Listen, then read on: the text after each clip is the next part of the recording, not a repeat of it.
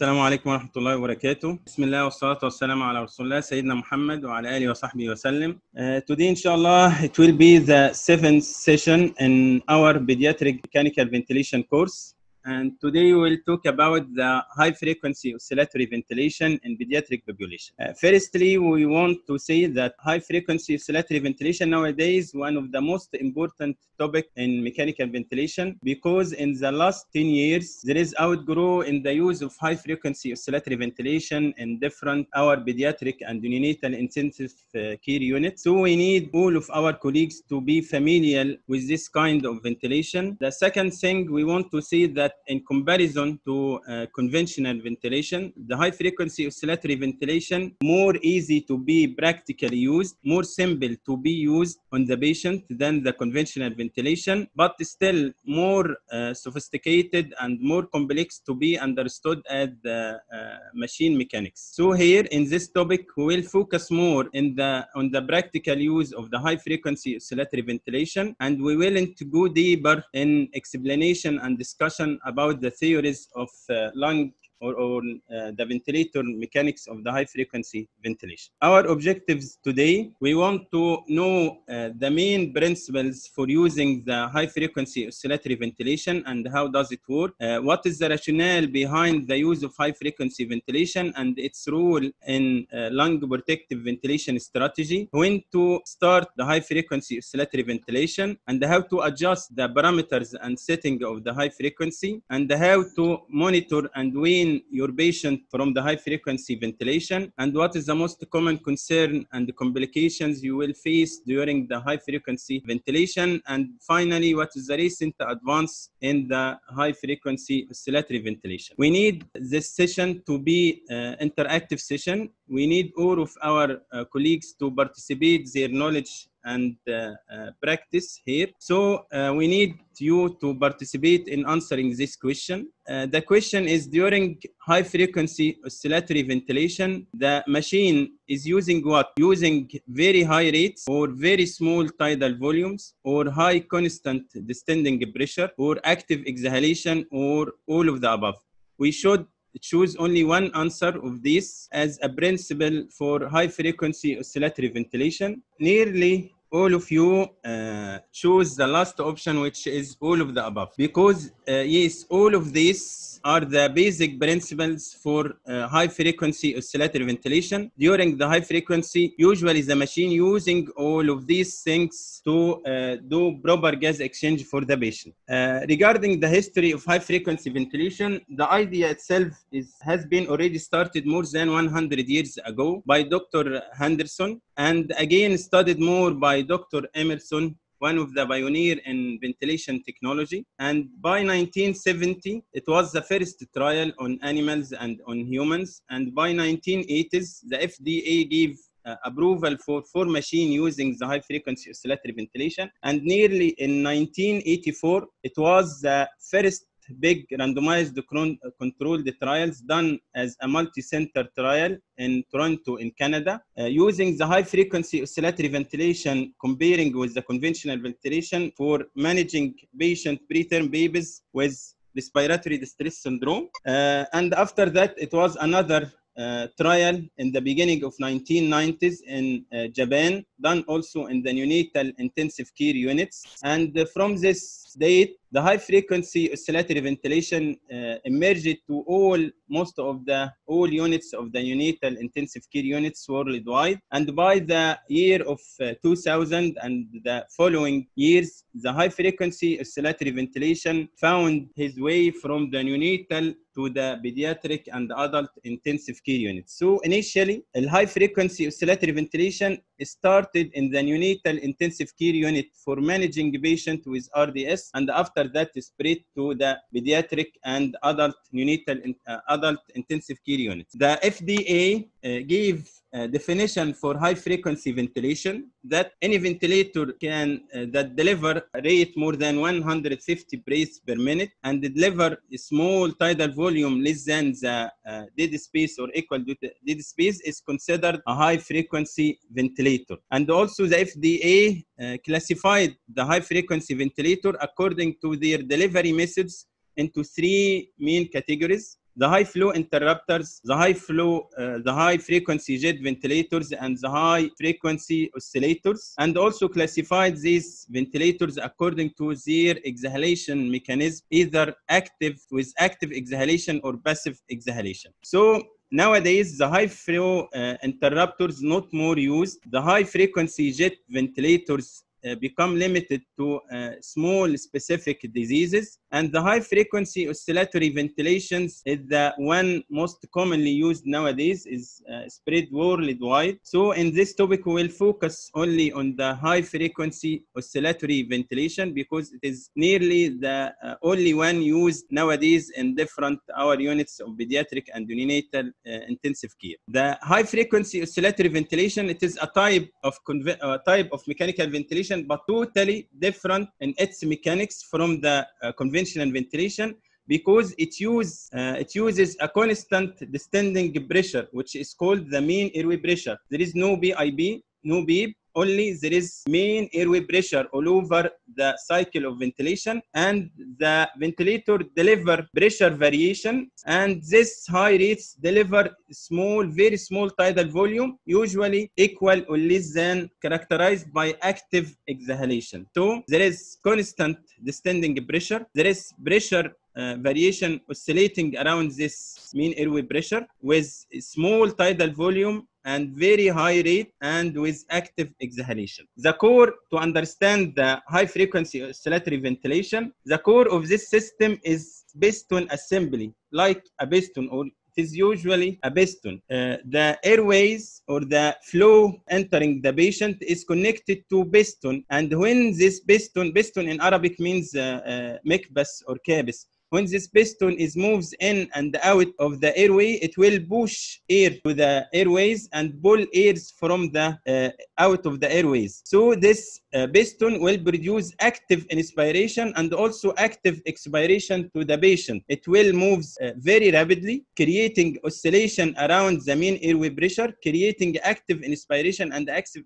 active expiration. And this active expiration allowing to give higher, very high rate for this piston movement. If we can uh, simplify the machine of the high frequency is in this diagram, we are using uh, a very high bias flow entering to the uh, machine. And this bias flow can be controlled by inspiratory valve and expiratory valve. And this flow will creating uh, a constant distending pressure, which will be delivered to the lung of the patient. And this uh, uh, high flow is connected to another chamber. This chamber containing the uh, what is called oscillator. This oscillator is usually piston or uh, can be diaphragm or membrane. This oscillator or piston, as we said, it will move uh, very rapidly in and out of the airway, will push air in and pull airs out of the airway, creating rapid change in pressure or oscillation around the mean airway pressure. And this will produce the oscillation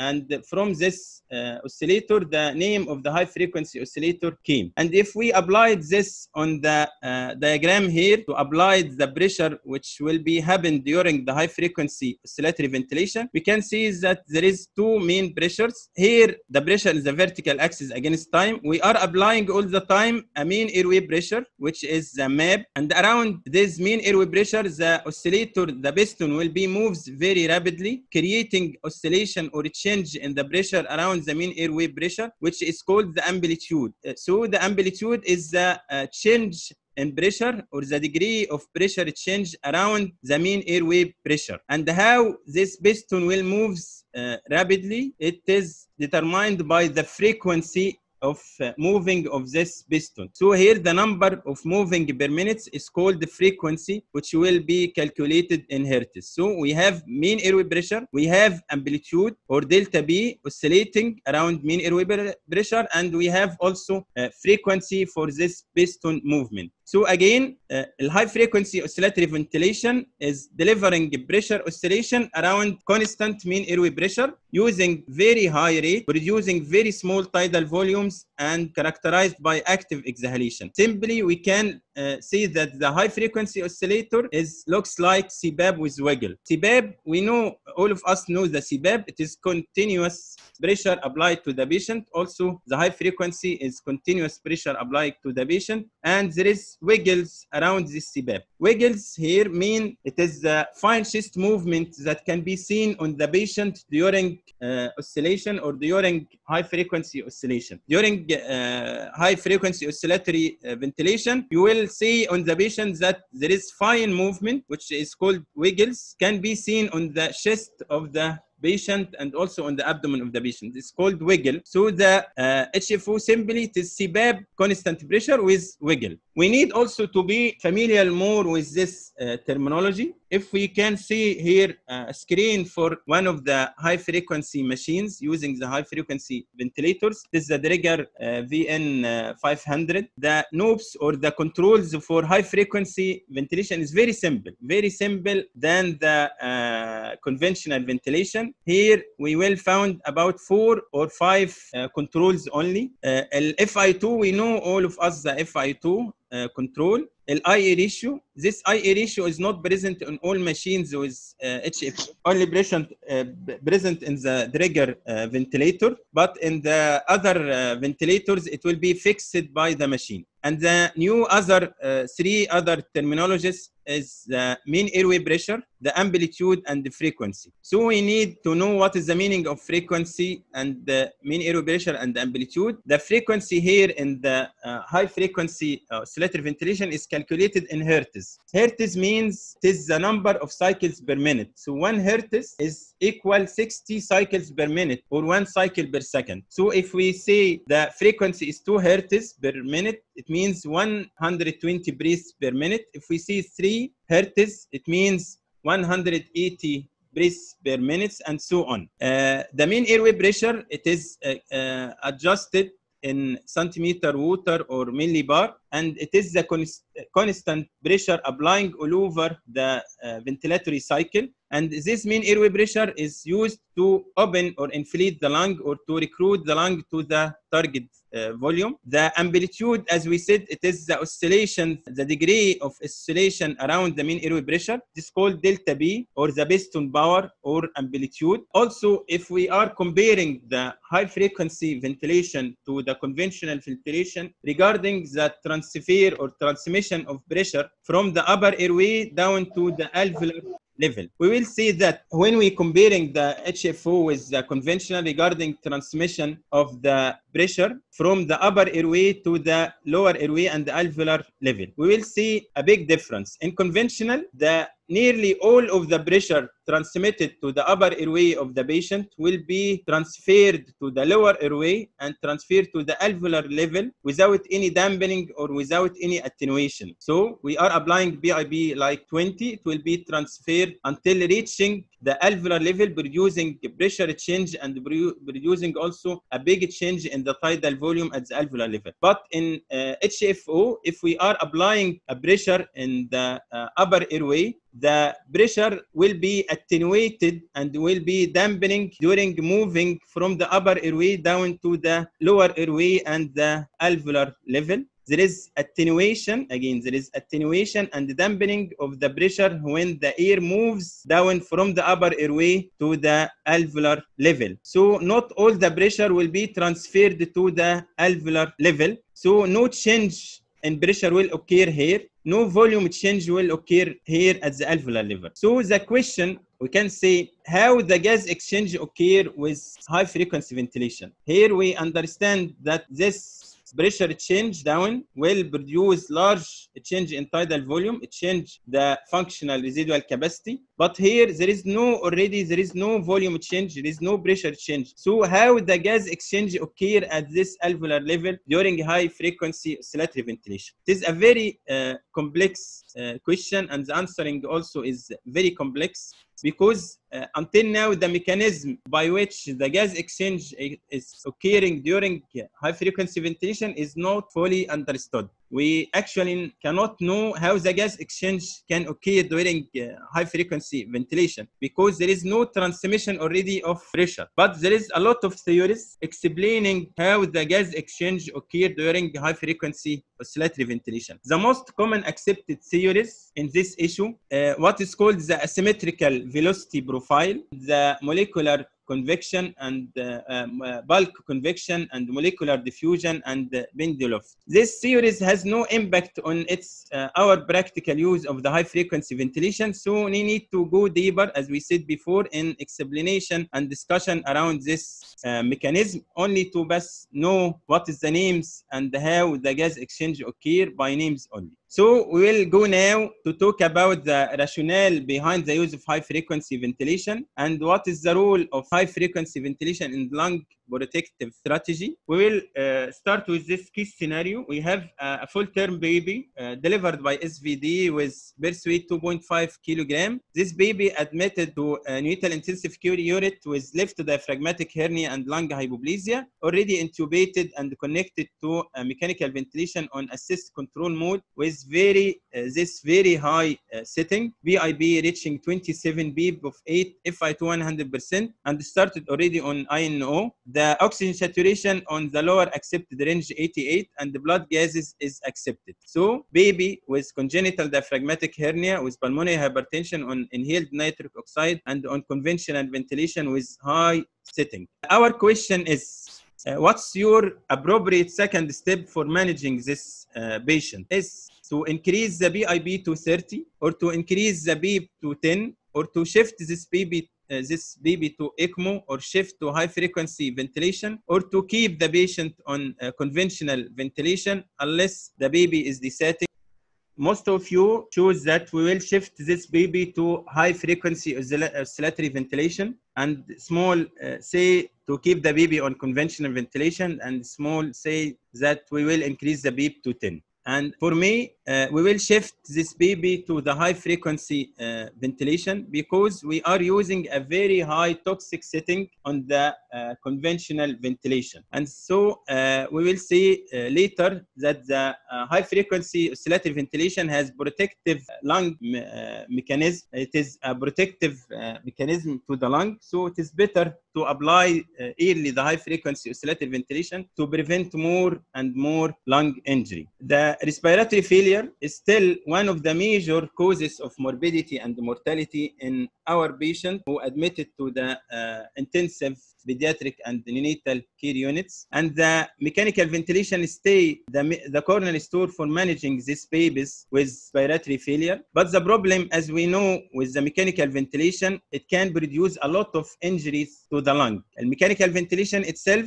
can produce a lot of lung injury can damage the lung by a lot of methods. A conventional ventilation or the uh, pressure, positive pressure ventilation can produce uh, volume effect, can overdistend the lung and producing what is called volutrauma or applying more pressure to the lung, producing what's called barotrauma, uh, exposing the lung to atelectotrauma or elicit and uh, induce an inflammatory cascade leading to inflammatory response and multiple organ system affection and multiple organ system failure in the form of biotrauma. So all of these injuries is called the ventilator-induced lung injuries, VILI, which can be used uh, caused by the pressure or by the conventional ventilation. And to protect the lung of our babies against this uh, ventilator-induced lung injury. Now there is a concept worldwide accepted by all experts and by all neonate, uh, by all uh, department to applying what is called the lung protective ventilation strategy. We need when we are using any kind of ventilation to be a lung protective uh, ventilation strategy to protect the lung from uh, a lot of injuries during the mechanical ventilation. And the principles of this uh, protective ventilation or lung protective ventilation strategies is to minimize the atelectotrauma, prevent the lung to be derecruited or collapsed all the time. So we need to open the lung and keep it open. We need to minimize uh, the volutrauma, avoid overdistension of the lung by applying small tidal volume. Also to minimize the oxygen toxicity, to minimize the barotrauma and also to accept target range before, uh, below the accepted or below the normal physiological range, which is called uh, permissive hypercapnia or permissive hypoxemia. If we revise the, uh, the open lung ventilation strategy, we can see the pressure volume loop which represents the compliance of the lung. We discussed this loop before, but we will focus here that when we are ventilating the lung, uh, there is three zones of lung ventilation here. If we ventilating the lung and the lung is already atelectatic or collapsed, we are ventilating the lung here. The lung will need more pressure to be inflated, and this lung will be exposed to uh, more and more injury during mechanical ventilation so it is a red zone for lung injury. And if we ventilating the lung and the lung is already over distended, also the lung will need higher pressure to be inflated. So at this zone, lung over distension or lung atelectasis, the lung needing higher pressure to be inflated, the compliance of the lung here is very poor and the lung all of the time exposed to a lot of injuries. But there is a safe zone here, safe window, in which the compliance is the best. And if we applying minimal pressure, it will produce a good volume change. So we need, in during our uh, ventilation, to ventilate the lung in this safe window. In this safe window, the lung is well recruited, the function residual capacity is optimized, and the uh, mean airway pressure or the pressure of the lung is optimized at this point. So if we compare the uh, conventional ventilation to the high frequency ventilation, we will see that during conventional ventilation, we are using pressure and volume swing. We are using PIP and PEEP. So during every cycle of ventilation, we expose the lung to both injury zones. We inflate the lung more during PIP and this deflate the lung to PEEP. So we are over distend and de-recruit the lung during every cycle. So this volume and the pressure swings during a conventional ventilation will expose the lung to the both uh, injury zones. But during high frequency ventilation, we are only ventilating the lung in this safe window, in this safe uh, zone. So the lung won't be exposed to this both injury zones and the lung will be safely ventilated in this area with the maximum compliance of the lung without any uh, lung injury. If we can see under the electron microscope here the at the level of the alveoli. It is the alveoli under electron microscope with conventional ventilation on the left side and high frequency oscillatory ventilation on the right side. Here during end inspiratory phase on conventional ventilation, we can see here that the alveoli is over distended. But during end of expiration, the alveoli is already de-recruited and become collapsed. So we are exposing the alveoli to over distension or de-recruitment during conventional ventilation. But here during high frequency uh, oscillatory ventilation, the, live, the uh, volume of the alveoli is the same during the end of inspiration and the end of expiration. So, so there is no volume uh, change from inspiration to expiration during high frequency ventilation. And also remember that there is dampening and attenuation of the pressure uh, when the air moves from upper to the lower airway and to the alveoli. There is so there is no pressure effect on the alveoli. So we can uh, by high frequency oscillatory ventilation achieve the principles for lung protective ventilation strategy. We can by applying the mean airway pressure, we can recruit the lung volume. We can open the lung and keep the lung open. By using small tidal volume, we can minimize volume trauma and over distension of the lung. Also, we are using uh, less uh, oxygen parameters when we are using the high frequency ventilation and also we, minimizing the barotrauma by uh, through attenuation of the amplitude or delta b. And also in high frequency we are accepting permissive hypercapnia and permissive hypoxemia. So theoretically the high frequency ventilation is ideal lung protective mode of ventilation. But uh, regarding to the research and studies studies still the high frequency uh, ventilation is not the best option to uh, start with during different lung diseases. Until now, all the randomized controlled trials comparing the high frequency ventilation with conventional ventilation has a conflict uh, result, not showed that the uh, high frequency is superior than the conventional ventilation as an initial therapy for different lung disease. Also, in units, uh, the Cochrane review comparing the uh, elective HFO versus the conventional ventilation in managing babies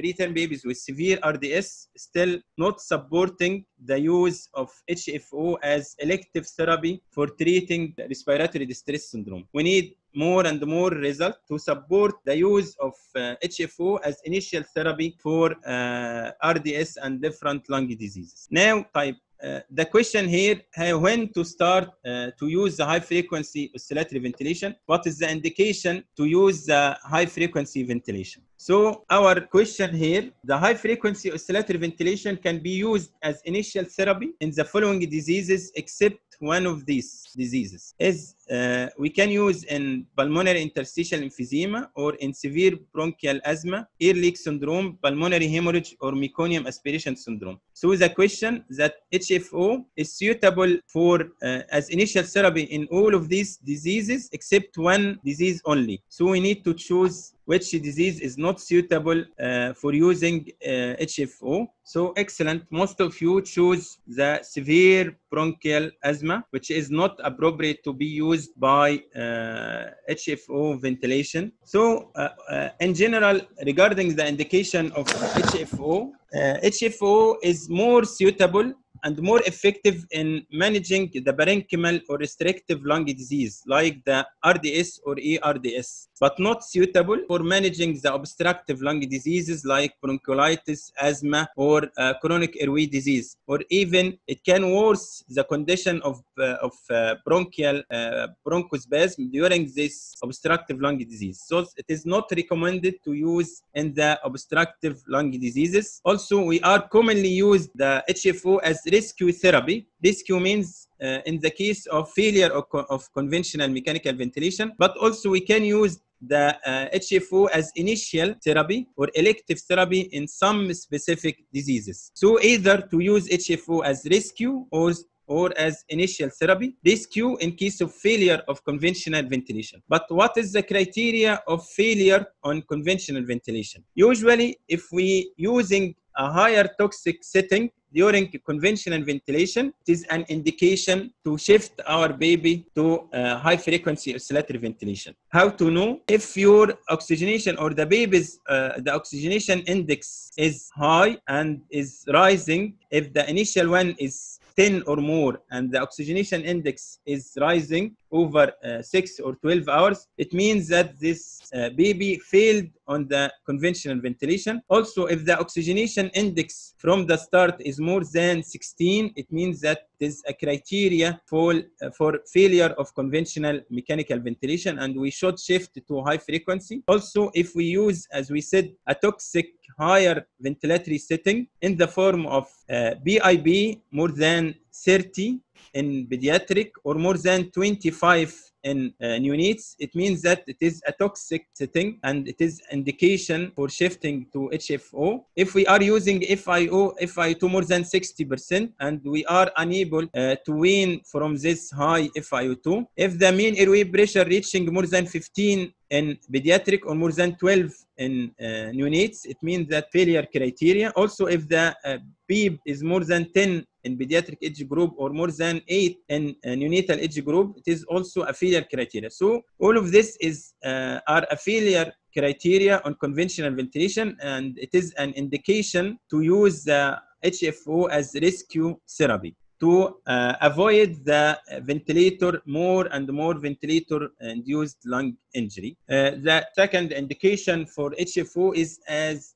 initial therapy. We can use initial therapy. Uh, it means from the start, we can put the patient from the start on HFO without conventional ventilation. Will bypass the conventional ventilation in certain lung diseases like pulmonary hemorrhage. Pulmonary hemorrhage is one of the dangerous diseases to be managed by uh, mechanical ventilation. So it is uh, better to start if severe pulmonary hemorrhage to start directly on HFO. If there is large air leak syndrome and the lung unable to be uh, inflated well, all the time the lung is collapsed with large air leak syndrome, it's better to put your baby on uh, HFO. Also, in case of persistent pulmonary hypertension, especially in case of pulmonary hemorrhage, pulmonary hypoplasia, or congenital diaphragmatic hernia, it is better to start with HFO. Also, in case of uh, uh, by uh, pulmonary interstitial emphysema, one of the indication to start early on HFO ventilation. And also in some expert or some doctors prefer to start the meconium aspiration syndrome by HFO ventilation. Type the contraindication, as we said, for the HFO ventilation is the obstructive airway diseases. Better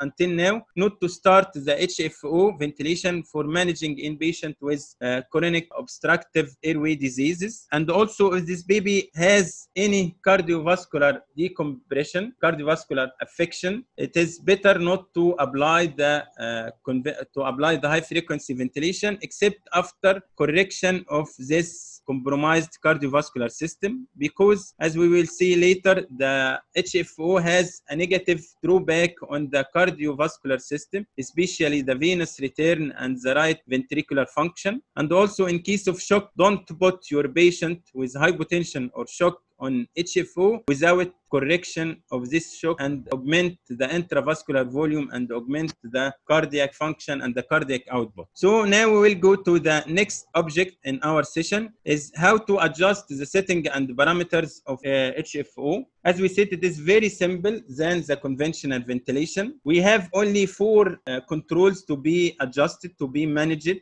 very simple two for oxygenation and two for uh, ventilation the mean airway pressure and FiO2 for oxygenation the uh, delta P or amplitude and the frequency for ventilation. And uh, most of the machine don't have the the IE ratio to be manipulated by the by the doctors. It is fixed by the machine. Here there is no I uh, the, there is no the knob of IE ratio. But in other machine we have already the knob of IE ratio to be adjusted by the operator. So it is either four uh, controls or five controls to be adjusted. And the controls of uh, HFO uh, ventilation has a very specific character, completely different from the conventional ventilation. It is called decoupling of ventilation and oxygenation. Decoupling of ventilation and oxygenation. The parameters or the controls for oxygenation is completely dissociated or separated from the uh, parameters or controls for ventilation. If we remembered in conventional ventilation, when we adjust, for example, the PIP, we will affect both oxygenation and ventilation. If we will manipulate with the PEEP, will affect the ventilation and oxygenation. But here, there is separation between the controls for oxygenation and controls for ventilation. Controls for oxygenation is only the mean airway pressure and FiO2. And the controls of uh, for ventilation is the amplitude, the frequency, and the inspiratory time. There is no interaction between, between both controls. Regarding the oxygenation, the main determinant of oxygenation in HFO is the mean airway pressure. When we apply uh, a good mean airway pressure, we will inflate the lung, we will open the lung, we will recruit the lung, so we will improve the oxygenation. So with increasing the mean airway pressure, the oxygenation will increase. But take care, we need to optimize the lung volume, not to over distend the lung volume. So during applying the mean airway pressure, take care, you should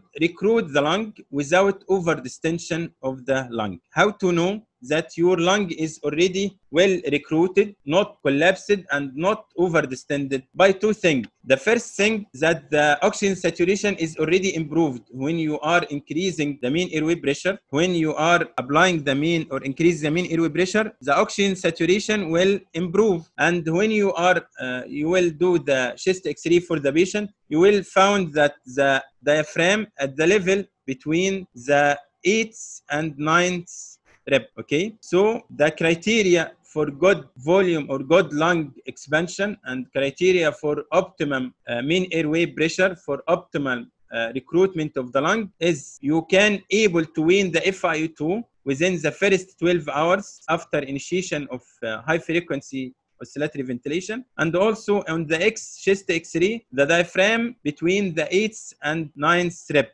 But if you found that the diaphragm is uh, more than 9 strip, it means that the lung is over distended. Please start to decrease your mean airway pressure by one in stepwise approach to optimize again the uh, lung volume. The second parameters for oxygenation is the FiO2. Usually when we started with uh, HFO ventilation, set the FiO2 on 100% and after that you, you can start to wean according to the oxygen saturation and the FiO2 it is the uh, first parameters to start to wean with.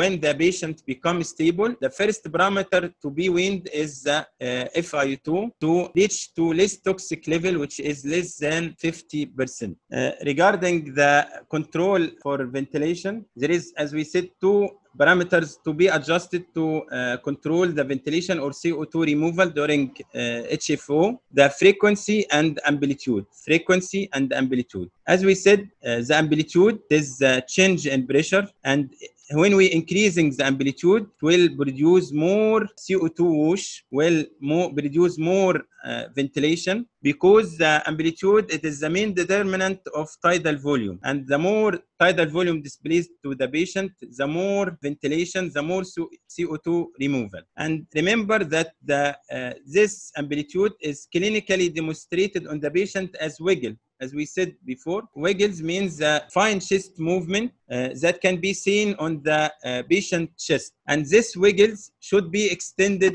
to certain site or certain region on the patient according to what is called chest wiggle factor. Chest wiggle factor can be uh, 1 plus 1 plus 2 or plus 3 plus 1 means that the wiggles is extended to the nipple the movement is we can see the movement up to the nipple of the patient called 1 if the wiggles extended to the umbilicus it is 2 if the wiggles is extended to the groin is 3 so our target during neonatal ventilation is to extend the wiggles up to the midway between umbilicus and the groin so to uh, optimize the amplitude, we should optimize the wiggles up to the level between umbilicus and the groin. In the pediatric age, group, we should uh, extend the wiggles up to the mid of thigh. Okay, so in the uh, pediatric, the wiggle should be extended to mid thigh, and in the neonate, the wiggle should be extended to the midway between umbilicus and the groin. So initially, both the amplitude about double the mean airway pressure, and after that, adjust the amplitude according to the degree of wiggle.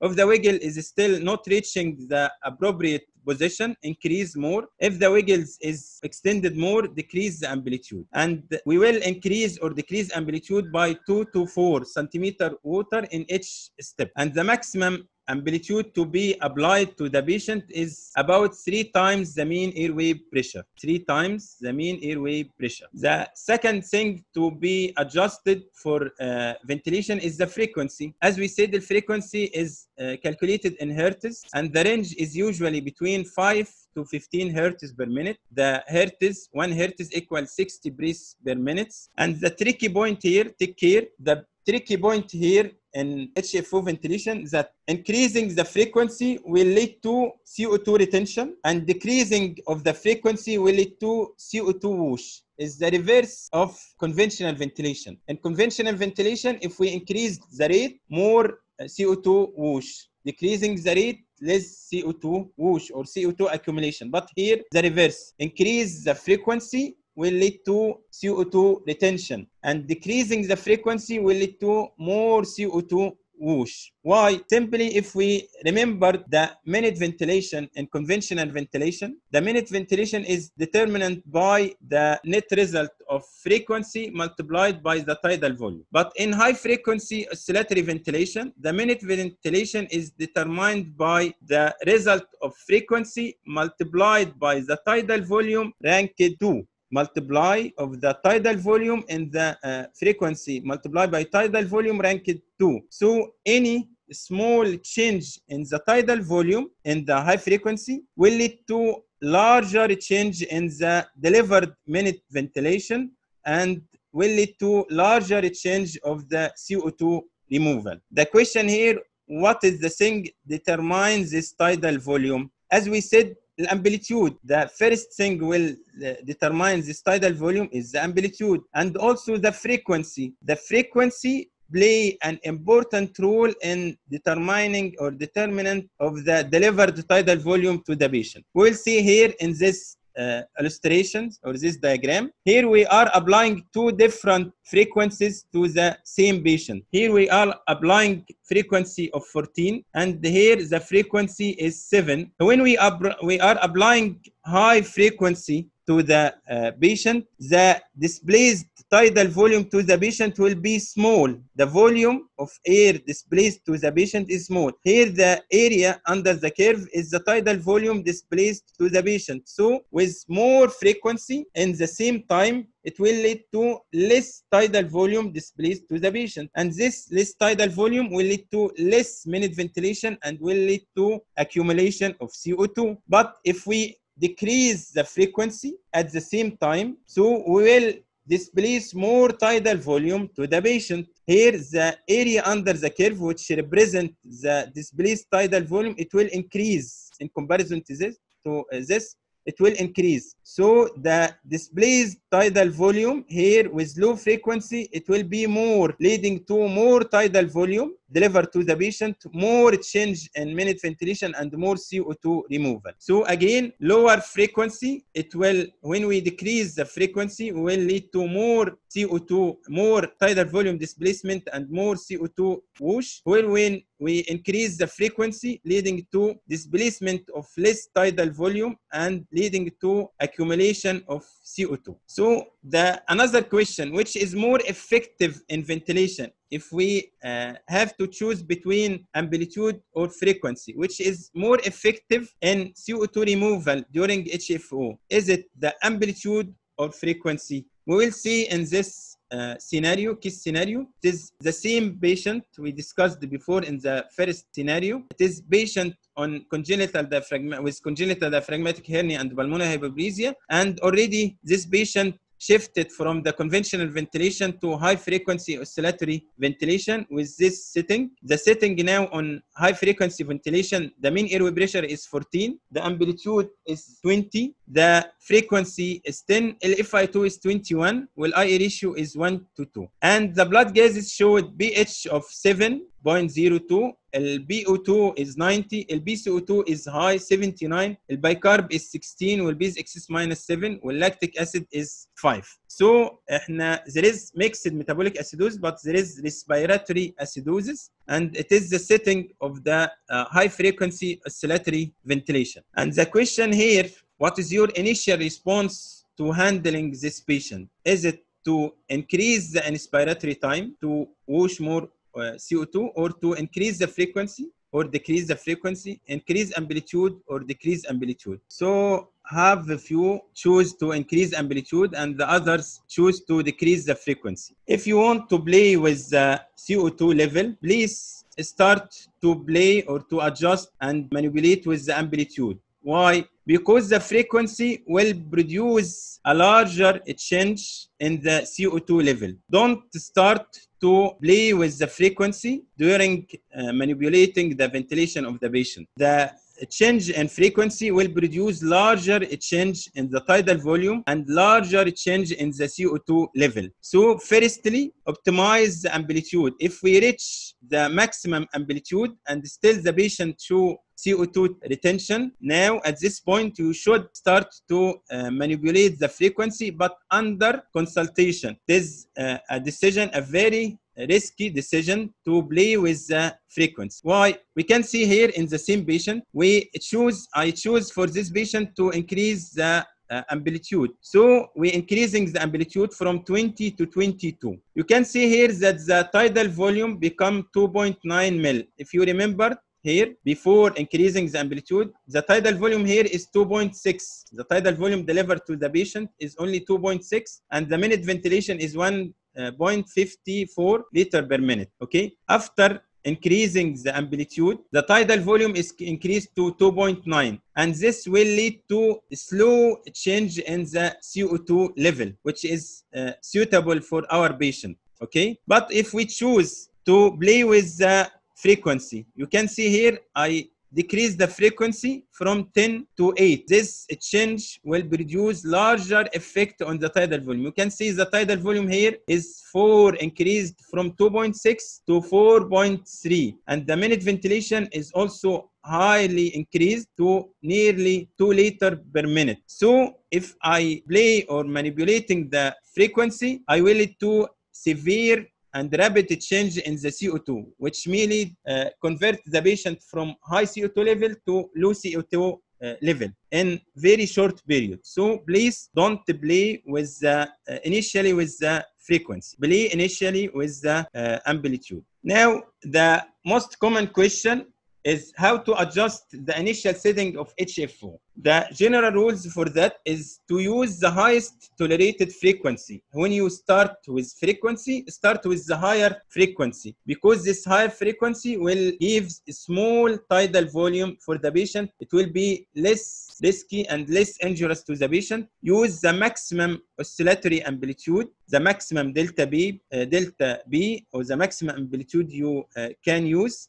Use the optimum uh, mean airway pressure with promote lung recruitment or optimize lung volume. And we uh, already discussed how to know that the lung is already optimized as uh, lung volume. And also started with FI2 with 100%. When, uh, if you will shift from conventional to high frequency, use the mean airway pressure on conventional ventilation as a guide for the uh, high frequency ventilation. Add two or four centimeter water to the mean airway pressure on conventional and put it as the mean airway pressure on the high frequency ventilation. And after that, you should know that you reached the optimal lung volume, but by improving in oxygen saturation and also that the diaphragm in normal position between 8th and 9 rep on the chest X-ray. If you did the X-ray and found that the lung is has a small lung volume, and the lung is already de-recruited or collapsed, that means that you are ventilating the lung in this injury zones, the zone of de-recruitment or lung collapse. So, so please increase your main airway pressure gradually to optimize or to inflate the lung or to open the lung, to transfer the lung to this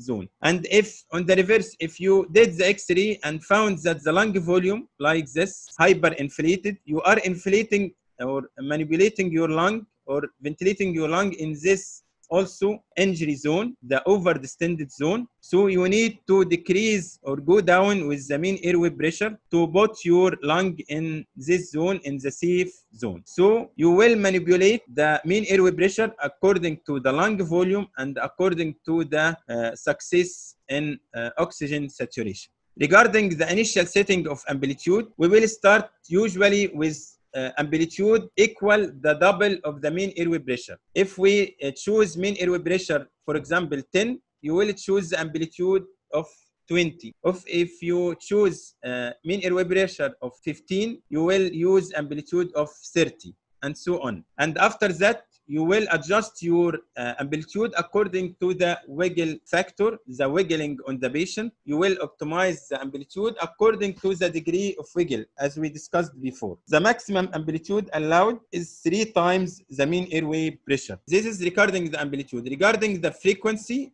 it is the initial frequency is according to the age of the patient. In preterm baby, we choose frequency of 12 to 15 hertz per minute. In full term, 10 to 12. In uh, children, 8 to 10. And adults, from 5 to 8 hertz per minute. So it is uh, better in frequency to start with the higher uh, frequency initially, uh, better than to start with the lower frequency. So simply, if you will shift from the conventional to high frequency, you can use the setting of conventional as a guide for you to the high frequency ventilation. The mean airway pressure added 2 to the mean airway pressure on conventional. If we are using mean airway pressure on conventional, for example, 10, you will put your mean airway pressure on high frequency 12, okay? And the rate, the frequency on the uh, HFO is according to the age, as we discussed previously. We will start with FiO2 100% or the same as on conventional ventilation, and the delta P can be used double of the mean airway pressure or can use the PIP on the conventional as the delta P. So it is the initial settings that we can start with during conventional, uh, during high frequency ventilation. Once you put your baby on the high frequency ventilation, what will you do? What is the uh, important thing you should take over or uh, take care during initiation of high frequency ventilation? Please, firstly, take care of the head position. If the head is kinked or uh, not adjusted or overextended, the uh, tube may be kinked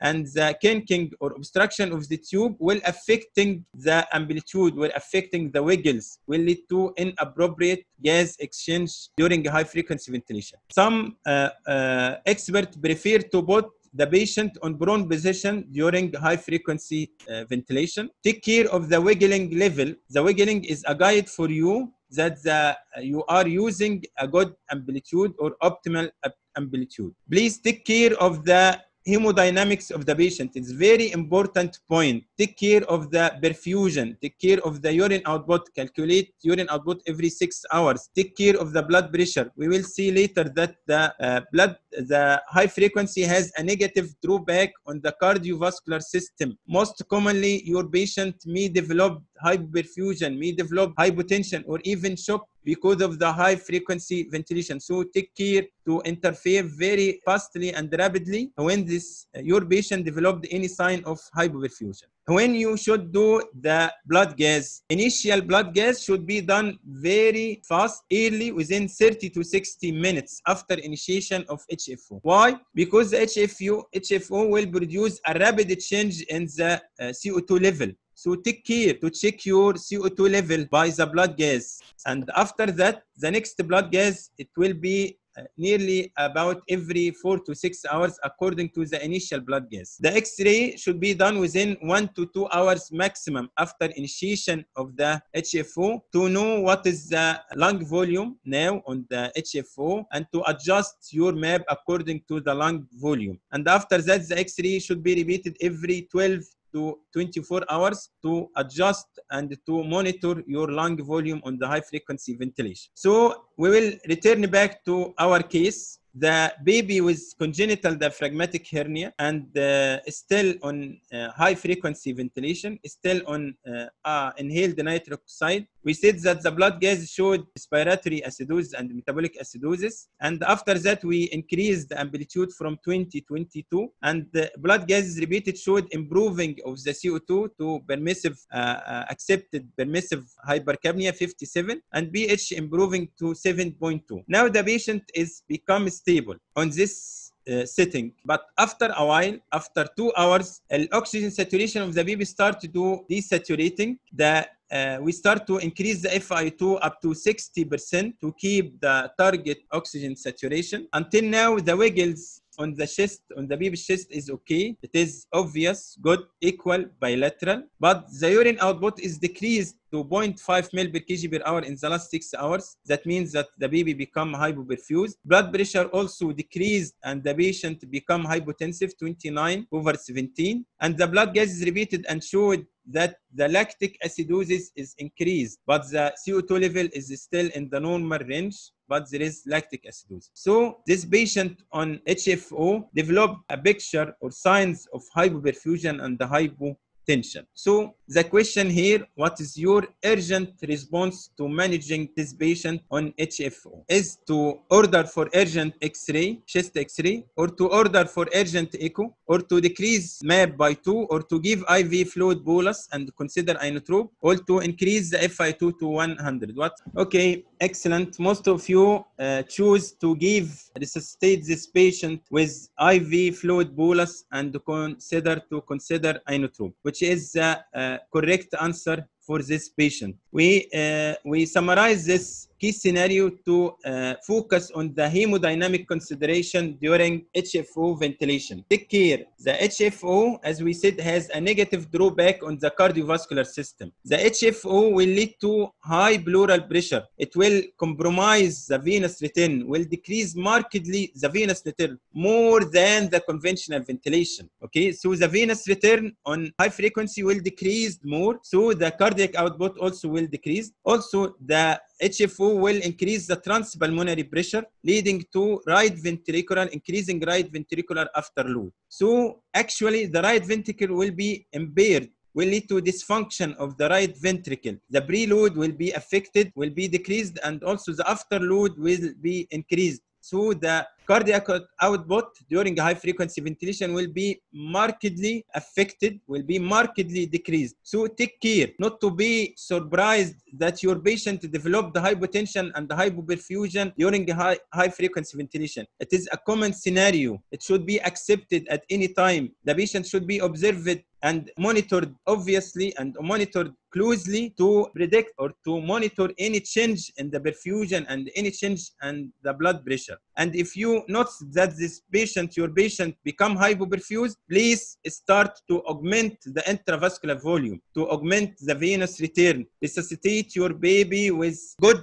volume, volume IV volume resuscitation, give volume bolus at least 10 ml per kg, and consider to use inotropes. Don't hesitate. There is no time to order for X-ray. You will order X-ray if you are worried about the oscillation, if the wiggles is not obvious, if you're thinking about that there is pneumothorax or leak syndrome, if you're thinking that the, there is CO2 level is increasing, but if the pressure you suspected your babies developed hypotension, it is a common it is suspected during high frequency ventilation so don't waste time. This patient may be shocked in uh, in few minutes may be shocked after one hour before the x-ray or echo done uh, so you should resuscitate your patient quickly and also you should start if the patient not responding you should start inotropes very quickly. Also take care during hfo if you have a normal blood gas don't be happy. The normal blood gas means that you are over ventilating your patient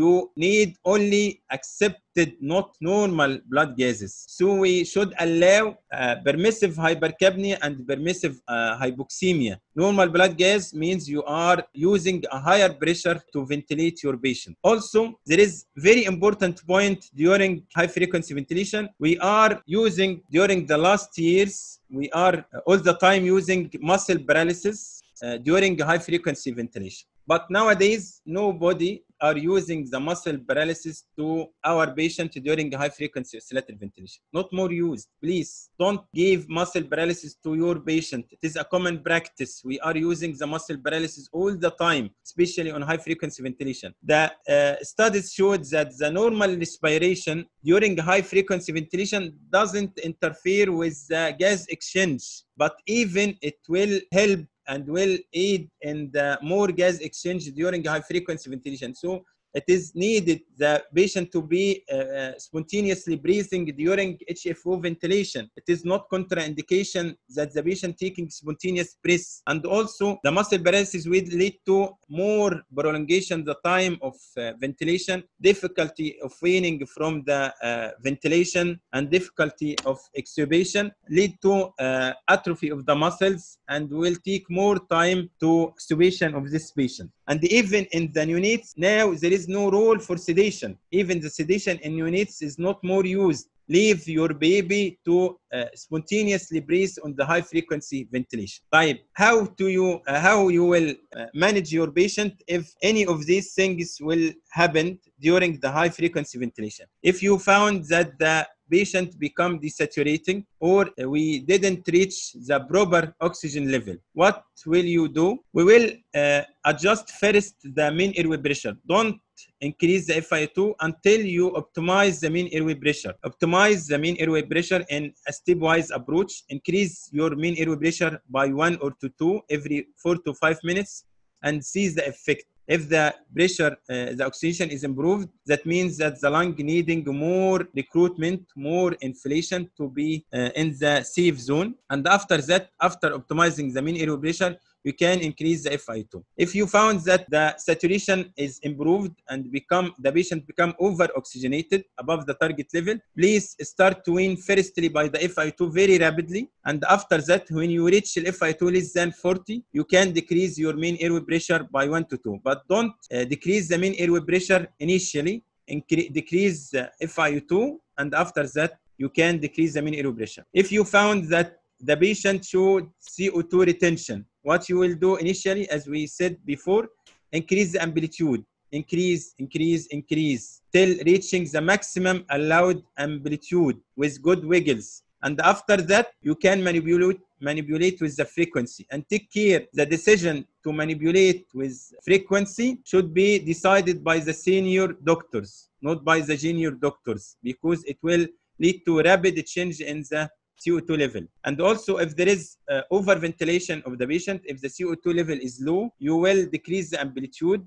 And uh, after that, if you're reaching the least allowed level, you can manipulate with the frequency. Okay, now how to monitor your patient on uh, high frequency and when to wean. Uh, the bedside monitoring is very important. Please take care of the chest wiggle. Chest wiggle during high frequency is very important. The nurse all the time should monitor the patient chest wiggle. You should reach be, the chest wiggle should be obviously should be equal bilateral and reaching the target region. Okay, if you found or see that the chest wiggles become not obvious, decreased or absent, that means that the endotracheal tube become obstructed. There is obstruction or there is secretion, a lot of secretion obstructing the tube, or maybe the uh, tube is already displaced from your patient. So take we we can do suction of the patient to uh, improve the chest wiggle. And if you found that the chest wiggle is only obvious on one side and absent on the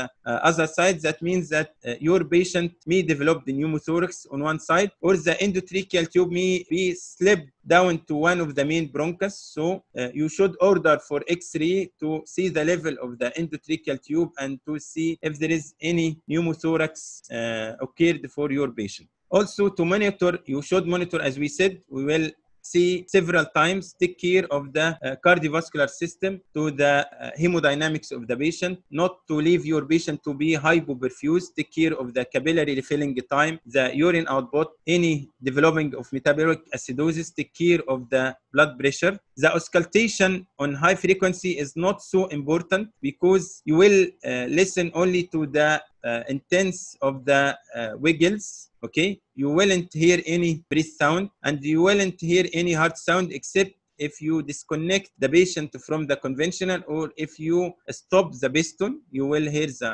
heart sound LEPG we said uh, already to be uh, done uh, very rapidly after initiation of the uh, high frequency. Suction is very important, but take care if you uh, do suction, if you will do, the nurse will do open suction, she will disconnect the endotracheal tube from the ventilation and that this may lead to de-recruitment of the lung. So take care. The lung, your lung or the lung of the patient may be de-recruited after the open suctioning. So it is better not to do suctioning in the first 12 hours after initiation of high frequency ventilation because at this time you are trying to optimize the lung volume, to recruit the lung. You are increasing the mean airway pressure to open the lung more and more and to improve the oxygenation. So minimize as much as you can suctioning of the baby. And if you will use suction, it is better to use closed suction than the open suction. Again, take care of the cardiovascular system take care of the uh, blood pressure, uh, no more use of the uh, muscle paralysis or even the sedation in uh, neonatal uh, age group. Uh, the common concern is and common complication of high frequency is only two, the developing of hypotension and the hyperfusion or even shock common on high frequency. And also if you overdistend the lung may produce pneumothorax or air leak syndrome and also the problem with endotracheal tube during high frequency is very common. Any uh, secretion, any water, any displacement of the, of the tube during high frequency ventilation, it will affect the wiggles of the patient and it will affect the CO2 level. So if you didn't take care about the endotracheal tube, you will find that the CO2 level is uh, swings more rapidly uh, during high frequency oscillatory ventilation. Uh, finally, when to wean our patient from high frequency to the conventional again. If we reach reasonable setting on the high frequency ventilation, usually if we succeeded to decrease the FiO2 less than 50 percent if the mean airway pressure become less than 12 if we have stable blood gas and if there is some improving in the pulmonary uh, lung pathology. And if the patient tolerate the manipulation during suctioning or positioning not showed rapid saturation or rapid uh, change in the oxygen saturation it means that this patient will tolerate the uh, conventional ventilation. So if we reach this point you can wean and you can shift your patient again back to the conventional ventilation. Uh, all of us will shift the patient or wean the patient from uh, high frequency to conventional ventilation with adequate setting but some still prefer to uh, wean directly from high frequency to CPAP it can be helpful in some diseases like high pulmonary interstitial emphysema or in extreme preterm babies. Finally, there is recent advance in high frequency ventilation. We can use the volume guarantee VG with the high frequency ventilation. Here in regular ventilator, we can use high frequency with volume guarantee with VG. In VG, we can target the allowed tidal volume uh, to the patient and the ventilator will manipulate with the amplitude to the delivered the targeted tidal volume. By targeting the tidal volume here will make the CO2 level more stable during high frequency ventilation. There, there is no uh, rapid rapid swings of the CO2 during the uh, volume guarantee with HF. So if you can use the uh, VG, it is better to be used with HFO, but take care during HFO with VG, the frequency will will go as in conventional ventilation. The frequency here will work as in conventional ventilation. The frequency, if we increase the frequency, we will increase ventilation. If we decrease the frequency, we will increase the CO2 level. So high frequency with uh, VG, the tricky point here that the frequency will work as the conventional ventilation. And the second thing now, uh, in recent uh, researches, we can use the HFO as non-invasive method, as nasal HFO, and it shows a very hopeful and supportive uh, result in a lot of lung diseases like in uh, preterm and patient with RDS uh, syndrome in units. The, and I think in the following years we will use more and more the nasal high frequency oscillatory ventilation. Finally, your decision whether to put your patient or not on high frequency ventilation, it should be individualized for each patient alone according to the clinical situation. Uh, there is no definite rule for guide to put the patient on high frequency ventilation. As we said, it should be individualized according to, to the clinical situation of your uh, patient. And now we're reaching the end of this session. And now we can open the question and discussion. The limits for permissive hypercapnia and hypoxemia. يعني احنا we discussed before in the uh, uh, protective ventilation strategy but in, if the CO2 level in between uh, 50s and the early of 60s is accepted, and also now the permissive hypoxemia, uh, it may be between 88 in neonate, between 88 to uh, 94. and uh, if there is severe uh, lung pathology like the diaphragmatic hernia, we can accept even up to 85% uh, of saturation. What are the parameters to adjust when we end to conventional ventilation? Uh, air parameters, usually we can use uh, lower parameters, uh, the same parameters on high frequency ventilation or less. Yani for example, if the FiO2 on convention on high frequency now is 30 oh, sorry on high frequency 30 you can start wean to conventional with FiO2 40 okay uh, if the mean airway pressure is 12, you can start by also mean airway pressure on the conventional 12.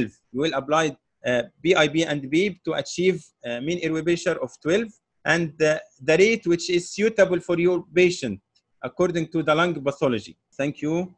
السلام عليكم ورحمة الله وبركاته.